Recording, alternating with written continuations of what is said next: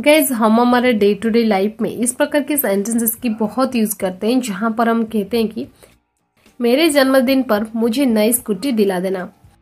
मेरे पापा मुझे एक नया फ़ोन दिला रहे हैं। वो तुमको कुछ नहीं दिलाएगा। मैंने उसे एक लैपटॉप दिलाई थी।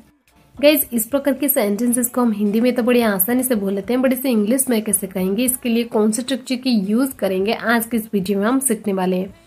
आपने नोटिस किए होंगे इन सभी सेंटेंसेस में एक चीज़ कॉमन है, वो है दिलाना। किसी चीज़ दिलाना, इसके लिए हम वर्ब यूज़ करते हैं गेट चलिए इसका कंप्लीट स्ट्रक्चर देख लेते हैं। स्ट्रक्चर में पहले आपको यूज़ कर देनी है सब्जेक्ट इसके बाद हेल्पिंग वर्ब हेल्पिंग वर्ब के बाद आपको यूज़ कर देनी है get as a main verb और लास्ट में अदर वर्ड मैं आपको और एक चीज़ बता दू गेट एक मैन वर्ब है, जो कि सब्जेक्ट और टेंस के अकॉर्डिंग चेंज भी हो सकती है, जैसे कि गेट गॉट गेट्स गेटिंग ये सब। चलिए कुछ एग्जाम्पल्स लेते हैं ताकि आपको ये स्ट्रक्चर और भी अच्छे से क्लियर हो जाए। मेरे जन्मदिन पर मुझे नई स्कूटी दिला देना।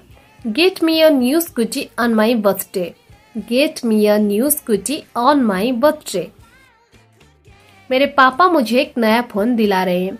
My dad is getting me a new mobile my dad is getting me a new mobile वो तुमको कुछ नहीं दिलाएगा। He will not get you anything he will not get you anything मैं आपको एक साइकिल दिला रहा हूँ। I am getting you a bicycle I am getting you a bicycle उसने मुझे कुछ नहीं दिलाया। He did not get me anything he did not get me anything कभी तो कुछ दिला दिया करो। Do ever get me something do ever get me something मैंने उसे एक लैपटॉप दिलाई थी। I got him a laptop I got him a laptop मुझे नए जूते दिला दो। Get me new shoes get me new shoes